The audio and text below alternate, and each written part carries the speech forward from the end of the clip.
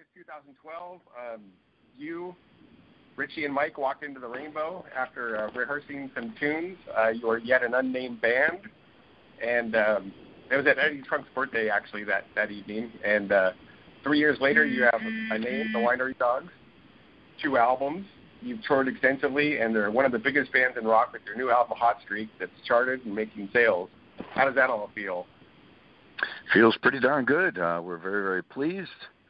Uh, very thankful to lots of people that uh, helped us along. Eddie Trunk, certainly one of the key players. Uh, great management, wonderful crew, and uh, people like yourselves doing interviews and spreading the word. We appreciate it very much. And uh, we're here uh, in Texas today for a show tonight.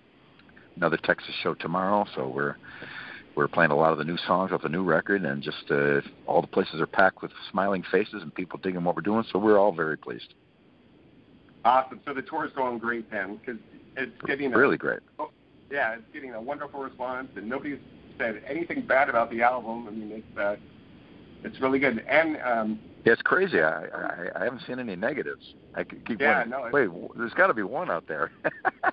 but uh, and it's funny that some of the reviews of the live shows. I posted a review from Nashville, and uh, I, I just put on my Twitter, I'm speechless. I don't even know what how to respond to it. It's, it's almost like we wrote the review ourselves. It was uh, incredible. So we're just and again we're we're we we take a step back and we're just extremely thankful that people enjoy what we're doing. What we're doing is doing something for ourselves. It's our art, our expression. But for me personally, a, big factor in what I do is I do want people to enjoy it. I want to reach people, and I want to do for them what music does for me when I hear it. And if, when it when that's successful, I'm I'm, I'm supremely happy. Bill, um, you know, I, I've been listening to it all the time, and I just want to tell you that it's like so different than a lot of what I've heard from you in the past. Oblivion is definitely you, no doubt, but um, there's like that country feel that's in Think It Over, and then there's, um, you know, I mean, my favorites are War Machine and Ghost Town, and all the songs are so different and so great. I mean, who, who you know, is it just like a one person thing, or are you all involved in the making of it? Yeah, we actually get in a room and write. We sit down and uh, play parts. Uh, Ghost Town came from a bass riff that I did.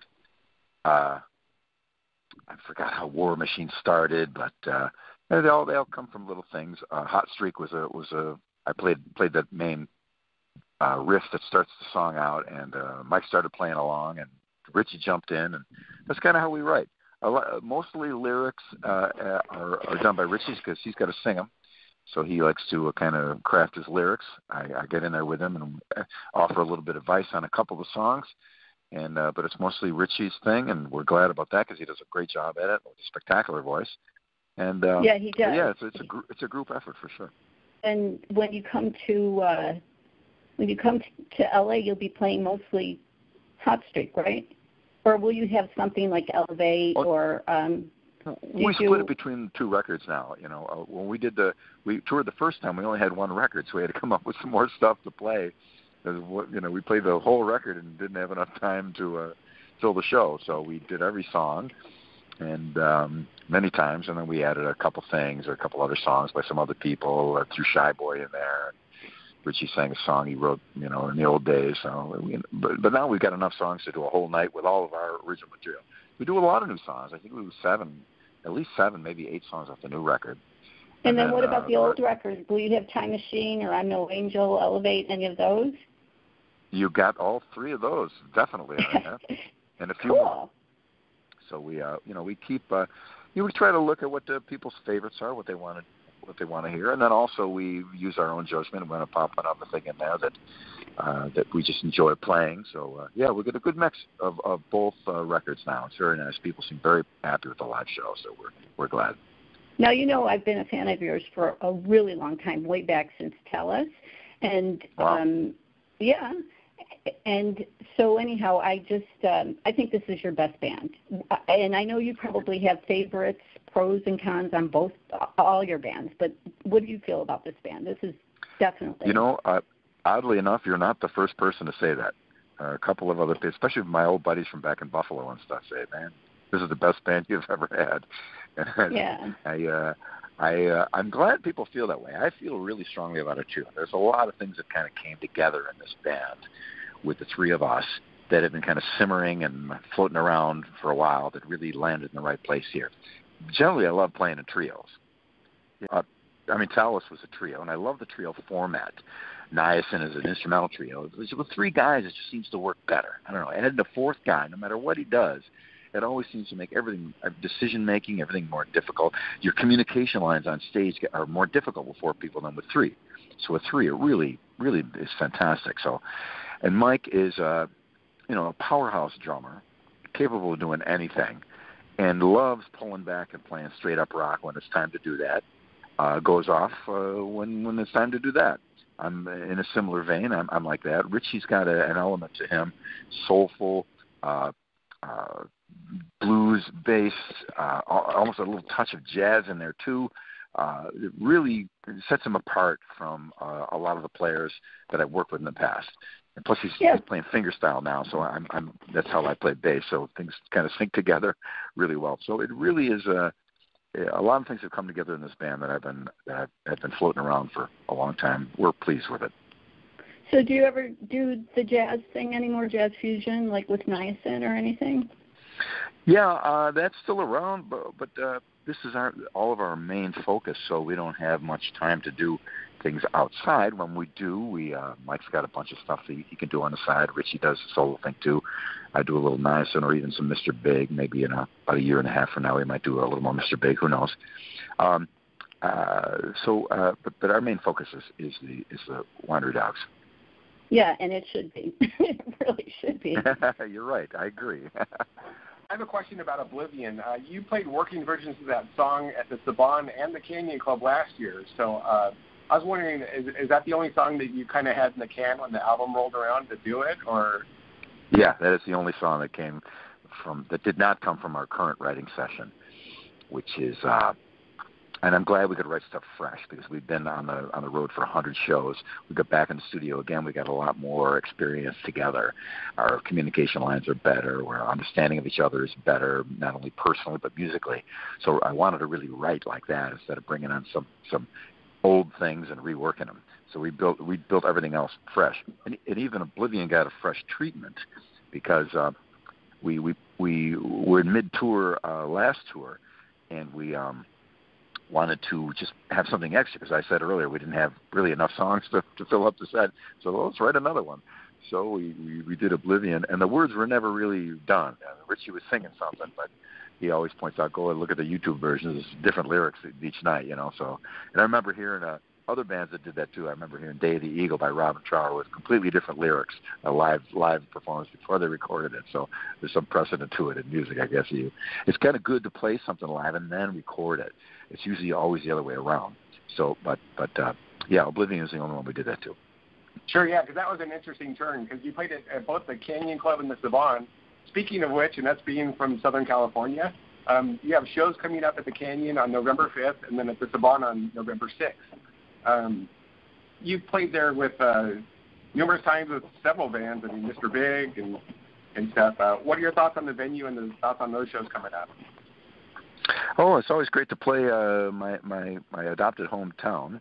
Uh, it's always uh, uh, chaos backstage because everybody wants to come back and say hi, and uh, uh, which we're happy about. But I got a show to do, so I try to balance all that out together.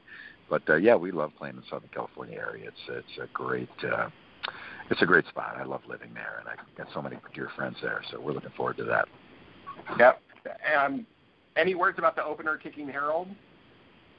Oh, they're they're doing great every night. They they do. We're in the back getting ready. We hear the crowd really responding strongly to them. So uh, it's it's a, uh, it's really a great uh, uh, a good match. They're, they're doing a great job. Um, Ultimate Jam Night at the Lucky Strike Live. You you were a regular there for quite a few weeks. It was pretty cool, and um, you played with past and present drummers like Greg Bissonette, um, Matt Starr. Um, you played with Phil X, Nuno, Gary Cherone. Uh, I'm sorry. Um, Ray, Ray Luzier was up there with me one time. Right. Oh, Gary Cherone and Nuno played last week. They did "Who Are You," and Nuno was the drummer. And great. Yeah, it was kind of like in a, the Amazing Journey, but you know, it was kind of a couple subs there, but it, was it was really neat. But um, we went, you know, we wanted to kind of get your thoughts about Jam Night and your experiences there. Well, the thing I love about it is it's it's just put together so well. I, there's a lot of jam nights that happen, and it's usually, you know, people kind of wander up and tune up and plug stuff in, and people are waiting around for 10, 20, 30, 40, 50 minutes, an hour, and then they start playing, and then they and whoever it is stops, and then there's another a huge long amount of time where they figure out who's next, and so it really goes slow and it's painful, and then to be part of the audience, it is much fun. Well, these guys that run the uh, the Lucky Strike Jam is great because they they got a great rule: no pedals, no plugging anything. Go in, take your instrument, plug it in, and go. And there's no no no uh, gear, you know. So you pop up, play your song, get off, next band up. So for the audience, is great because they're they're it can actually be entertaining. There's not this long wait while everybody figures out what's plugged into what, and they they really do a diverse bunch of uh, music from all kinds of stuff. I was uh, in the back area and I heard. Uh, uh, time has come today by the Chambers Brothers. I said, what? And I walked out, and sure enough, it was them. It was the Chambers Brothers, and it was them yeah, playing it. I couldn't, I couldn't believe it. And they, you know, a horn section and string players and sax players and straight up rock, punk rock, hard rock, uh, um, acoustic stuff, uh, everything. It's, it really makes it an entertaining thing. So I love being a part of it as as far as that goes. And there might be a surprise uh, Lucky Strike jam coming up in November. So which I I will not say anything about yet, but uh, should be a good one. Mike Portnoy's never done it. Do you think he'll be there in November? I'm not sure if Mike is going to be in town, but if if he is, we we we jump up there anytime. Because oh, Mike knows good. a million songs. I, I know a million songs, so we can get up there with just about anybody and do any ACDC, Judas Priest, Hendrix, Zeppelin, Beatles, Who, you name it, we can probably cover it. one of the guests at Jam Night, Madame Mayhem, her album just came out last week, and you produced it. Uh, how did that come out, and how's it going? Oh, it's going great. Uh, the record really sounds fantastic. We got some just screamingly awesome reviews on it, and reviews on the production too. I'm glad. I'm very pleased. The first record I did, I've always been a part of just about every record I've been on. Some a lot. Uh, I, I produced the first Mr. Big demo, and uh, was always at a hand in Mr. Big production and the Eat 'Em and Smile production, uh, and in every band and all the Winery Dog stuff. You know, we I've always had a hand, but I've never done anything completely on my own for another artist. And uh, this is the first time I've done. I'm taken another artist and put things around her and built the songs and uh, did the recording and made all the decisions. And it was it was a great process. I really enjoyed doing it. And uh, she's very very pleased with the results. And uh, uh, she's got some great pipes. Wonderful girl too. She's a very, very, very sweet girl. Uh, she's so hungry. She just loves music, loves singing, just wants to play, and one is dying to go on tour. And that's that's her whole focus in life. So I, when I knew that initially, that's why I was happy to produce something like that because I know they they, they really want it bad, and they and they and they they love what they're doing. Another concert you recently partook in was the concert for Charlotte at the Whisky. Um, Phil X was the host, and uh, you went there and jammed and took pictures and with people and stuff. Uh, do, you have any good memories from that event? Oh yeah, it was a, it was it was just a, lot of great friends are there. You don't get a chance to see other musicians much, except at the NAMM show, because everybody's on tour and gone and in town and out of town. And uh, Dug Pinnick was there. We hung out watching the bands. Uh, um, uh, Richie got up and played, did great. It was amazing. Did a set with the solo band, it was awesome. Phil X got up and killed. He's just great, dear friend of mine. And uh, we just it was just a wonderful time and for a good cause. Uh, can't get any better than that. Well, we're on version three now, and oh, yeah? uh, we fine tuned it down to a degree that I don't know what more we could do with it other than doing some cool colors and uh, doing some uh, cosmetic things, but it's it's a really a finely tuned instrument. They've done a great job on it.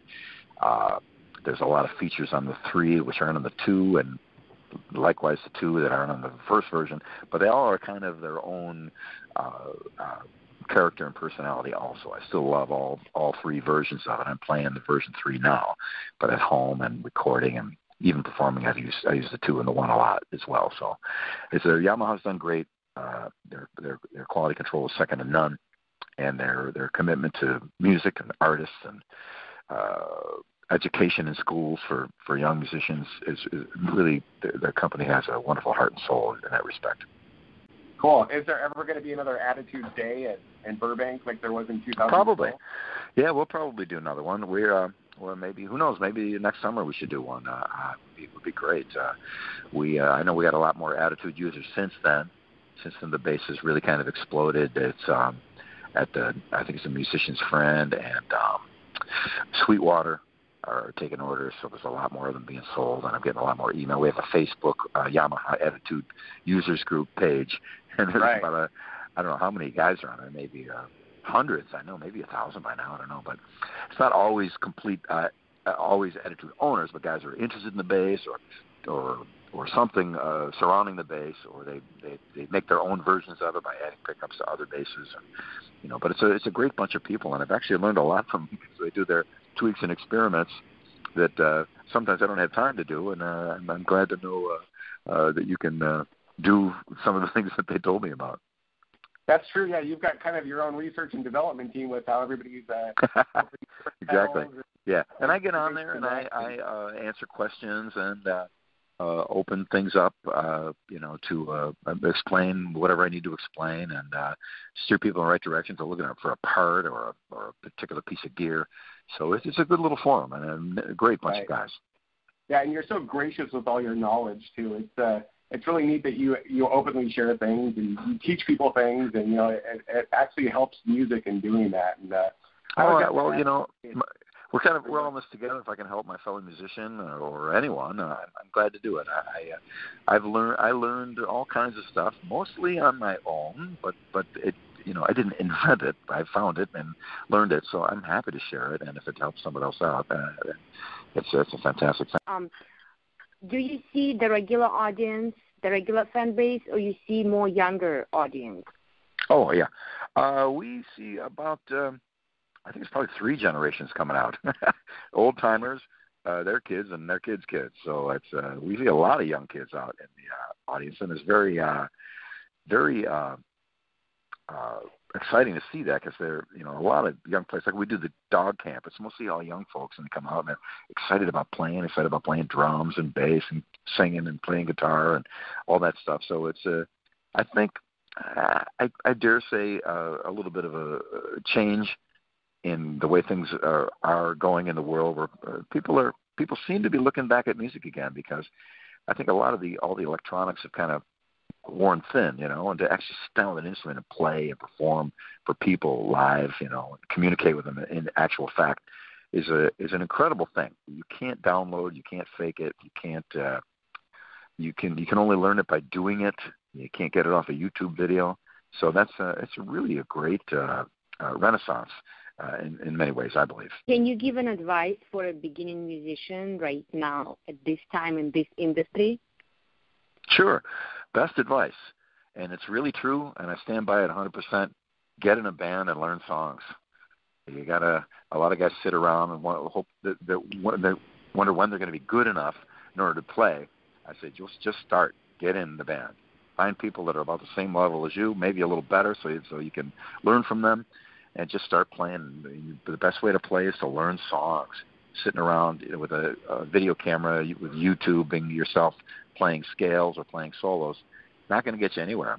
You got to learn how to play and learn and sing too. Play and sing, and get in a band. It's the greatest thing. It's what I did right away when I when I first got an instrument. The first thing I did was get in a band. You know, I didn't, you know, I le- learned how to play some chords, but and and in the interim was looking for other people that played, and that was the thing you did is you got in a band with your friends and started playing, and uh, eventually the uh, the, the lesser players get weeded out and the stronger players move on and your band gets better and better. And next thing you know you're you're playing regularly and then soon you're recording. And that's really the way to do it. Uh, get in a band and play, start playing songs. Can't beat it. And do you have anything you want to add or um... no i just appreciate you you both getting in touch with me and doing this today uh, we're looking forward to coming back into southern california coming up soon we're at a halfway point of our tour right now, and the rest is uh, is uh, is all looking good. Uh, we're we're really pleased that people have enjoyed the record, and uh, where there's much more to come.